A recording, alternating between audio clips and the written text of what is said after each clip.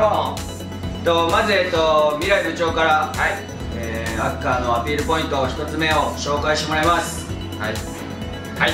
そうですね。アクアは多分歌舞伎町であのトップクラスの、えー、給料システムでね総売りが最高なんと70%バック。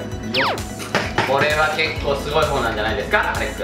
40% 70%発でしょ70%ってすごいよね。なかなかね。しかも総売り上げなんでね。承継でないんで裏があるんだよね。旅費がね。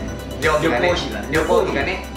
積み立て月1万円ね。1万円だけ取られちゃう。でも積み立て月1万円で年で12万円ねあるけどそれでね国内と海外行けて、うん。さらに海外旅行だったらえっ、とセブ島だったりとか、あとはラスベガスとかね遠くまでね行けるんでそれはこういいんじゃないですか？12万円でなかなか行けないでしょ。なかなかい。いね HIS もびっくりよ。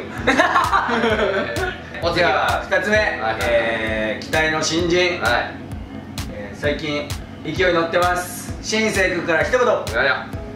えっと自分はゼロからホストをここで始めたんですけどもう自分のいいところをとにかく伸ばせるっていうのがいいところで自由に自分もやってるんでもしよかったらみんな入ってください。よっ。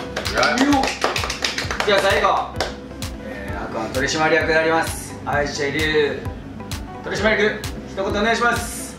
どうも、えっと、僕はあの遺跡でねあのアクア本店入ったんですけどあの本当アクアねあのレベル確かに高くてで従業員もねめっちゃ多くて。57人今。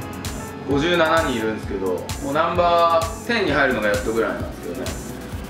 でもやっぱ大箱でねナンバーワン取ってからが本当の勝負かなって思ってるんで。あのー、小箱だったり中箱でねくすぶってる経験者ねぜひ連絡お待ちしてるんでお願いしますはいでは最後にねみんなで部活をやったりサッカーバスケ野球したりしてねみんなで和気あいがやってるんで皆さんの応募待ってます。